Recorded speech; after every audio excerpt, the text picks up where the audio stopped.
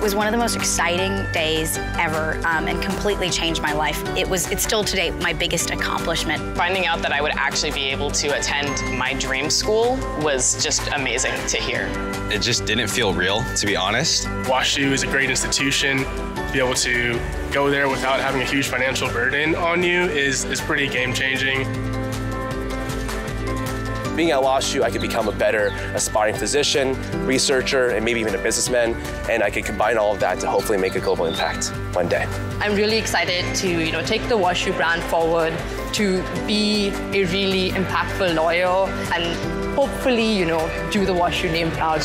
I just want to make sure that I'm making a positive footprint everywhere I go. I hope to use my degree and all of my learnings and findings from being here at WashU to help impoverished areas and make more sustainable facilities and spaces for people.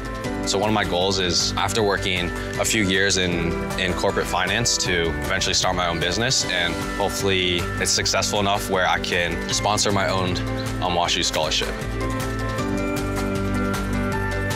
I know myself and a lot of my peers wouldn't have been able to begin our journey as lawyers without the financial support.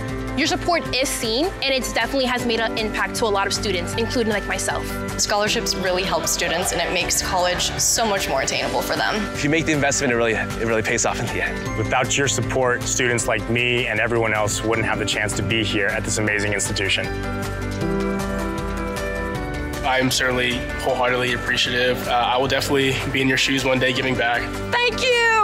Um, I am a scholarship recipient, so I would not be here without you. From the bottom of my heart, thank you so much for the scholarship. You know, it's just allowed me to become my best self. These four years have been the most meaningful years of my life, and I, I couldn't say thank you enough.